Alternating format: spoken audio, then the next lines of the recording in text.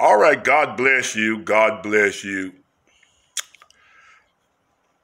Watch meeting. What is the definition of watch meeting? You watch the whole year out in the new year. Now let's give the real, the real definition as we see. A lot of you have watch meeting services at your church start at 10 o'clock or 10.30 or 9 o'clock. I, I said your church, I said yours. You hear me say yours?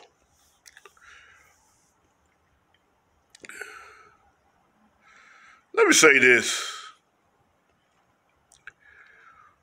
The definition of watch meeting, what is watch meeting?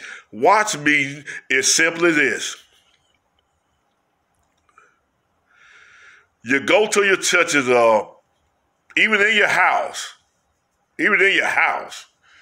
You don't have to go to your to your church. You can stay in your house and watch the old watch when the when the clock strike is twelve or twelve oh one. Which one is it? twelve?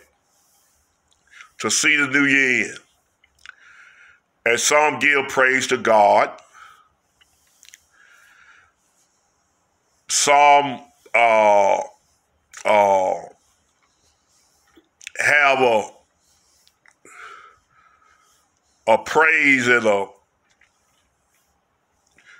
in a worship service to tell of God's goodness. You know, all praise and worship go to God. Tell how good God have been all year long. And they gave you a sermon to expect, praise God, expect blessings for the next year. Now let me say, let me get to let me get to the point. But really, as we see when it comes to church, watch meeting it's simply this. When it comes to our church, I said our. You hear me say our? I say Jesus. Watch meeting is simply this. Watch meeting is where you go and watch a false prophet tell a lie about the upcoming year. That's what watch meeting is. You go to church and you watch a false prophet and listen to a false prophet, your pastor, tell a lie about the upcoming year, just like they did in 2020. And haven't repented to the congregation yet. You go to your churches, houses of worship, and tell a lie about the upcoming year.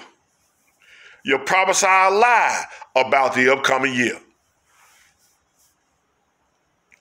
You go to church, see a false prophet, hear a false prophet lie to you about the upcoming year. That's watch me. Just like they lied this year, 2020. All of them lied. Every last one of them lied. Praise God. All right. We'll leave right there.